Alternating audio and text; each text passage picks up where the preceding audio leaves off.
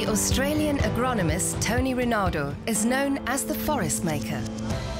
He has discovered and put into practice a solution to extreme deforestation and desertification in the Sahel region.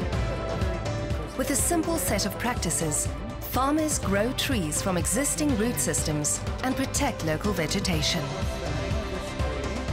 Rinaudo's so-called farmer-managed natural regeneration method has restored 50,000 square kilometers of land in Niger alone and improved the livelihoods of millions. It has the potential to restore currently degraded drylands with an area the combined size of India. Rinaudo has created much more than an agricultural technique. He has inspired a farmer-led movement regreening land in the Sahel region and beyond.